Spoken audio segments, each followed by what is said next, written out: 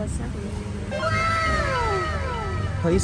Đây lái xe một lúc thì con máy già nó mới ngủ dậy mọi người tôi ờ, đi được nửa đường thì qua chào chào Minh thì thấy ờ, chỗ này có dám dừa sáp này nếp than ờ, cẩm đây dừng lại thử ăn dừa sáp trái xem nó, nó như thế nào. Let's go. Đây dừa sáp hả chị? Bao nhiêu trái? Có bổ ra tại chỗ đúng không? À, bổ bao nhiêu một trái? Có 100 với 130 100 một trái hả chị? Wow đây hả? Những trái dừa sáp đây? Có, có, có, có giá ở đây có đắt không ta? Hay là em em thấy người ta bán có bảy tám chục mà ta? 7 80 là hàng loại 3 em. À đây là loại một đúng không? Loại 3 là cái đó nó rẻ bật luôn vậy lấy lại em cho lại một một quả thử trăm ba nào. Xem như nào. em làm bao nhiêu người ăn? Có hai người à? Một hai người thì một trái đủ không? Thôi hai người một trái ăn không hết. Không hết hả? Chứ chứ ăn một trái nào cái này á, là em phải làm ra còn nếu như có dư lại chị làm sẵn vô ly cho em rồi chừng nào em ta bắt vô quán nào muốn ăn nữa thì mò đá vô. À hai hai người một trái họ ăn không hết à? Vừa sáng một trăm ba một trái vợ ạ lấy thử thử lấy cho một trái đi. Thử lấy. Em đang quay vlog đây, quảng cáo cho chị đây. Đây ốc bưu đồng là mọi người ghé qua dừa sáp với số điện thoại đây. Vào chỗ đây ngoan rồi hả chị? Ừ. Ok. Wow đang làm vlog về miền tây mà anh. Dạ. Phải chắc ngon đấy nhờ. Từ từ người ta phải bổ chuẩn nhé. Nó em từ từ với nó. Từ từ không ẩu được. Không, Đó, không, không có đập áp được. Đó có sáp kìa. Sáp, ít sáp. Cái này này hơi ít sáp. Cái này. Cái này hơi ít sáp. Thấy người ta quan sát Hơi ít sáp sao Cái này già rồi á. Em muốn nè.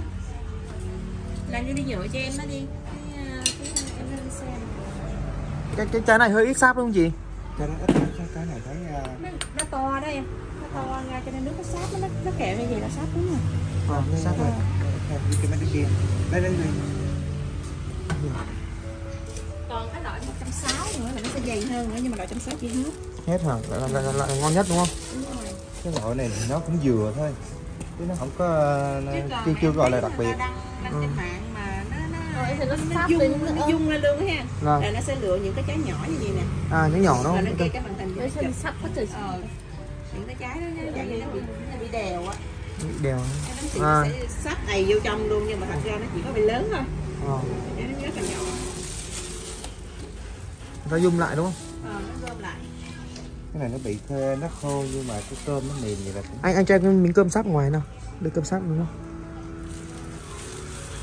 Ừ, béo. Ừ, ngậy ghê quá.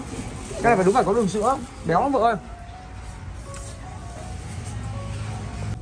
Đó. Xong rồi sẽ được hai cái này. Ăn này xong một trái thường ăn bốn người. Bây giờ ăn hai người chắc khỏi ăn cơm luôn. Sữa Đường chắc là ngon đấy khá ngon đấy. Ăn phải ăn mùa mình tự ăn hộ cho chém ngọt ngọt xíu nhá.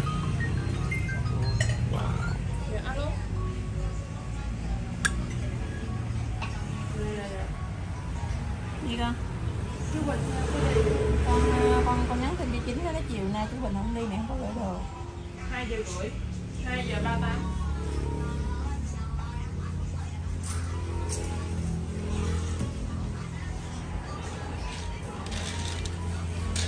Nước hai lớp hả chị? Hai lớp nước luôn Anh anh chế hết cho em đi. Đúng rồi Chế hết được được.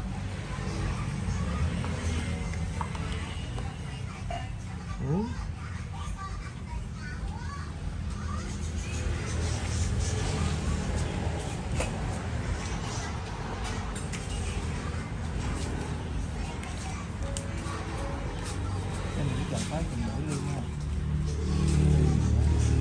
Hai ly chả bá lửa thôi Ok. Mấy giờ ơi?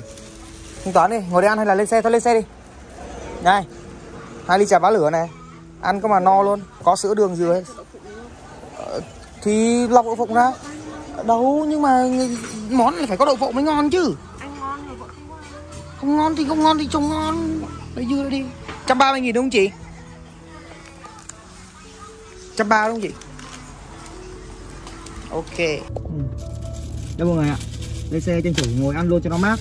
Ồ, một ly này người ta bảo là no tới căng luôn. Dưới sáp 130 nghìn một trái như thế này thì có đắt không mọi người? Mình không biết giá. Mình thì không biết giá. Ừ, đá hơi nhiều xíu.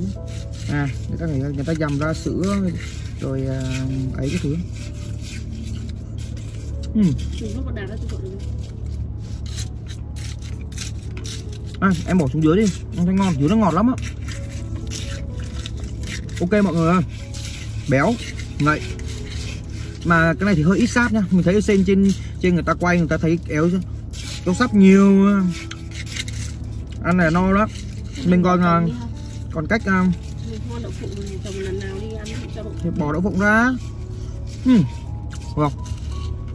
Mà anh nhậu xong ấy là trời mưa là Tôi đi chẳng đi Cần Thơ đâu Chưa thay đồi đâu Ừ, ngon ha. Ngon ha, cho vợ ăn với ha. Ừ. Thôi không ăn nữa Không Không ăn nữa Rồi Ok Lúc tôi dùng đá không vậy? Đây thì từ Chúng ta đã Cái này không có ống hút à? Có ống hút đúng không? Nói chung thì nó cũng không như tưởng tượng của mình Ừ.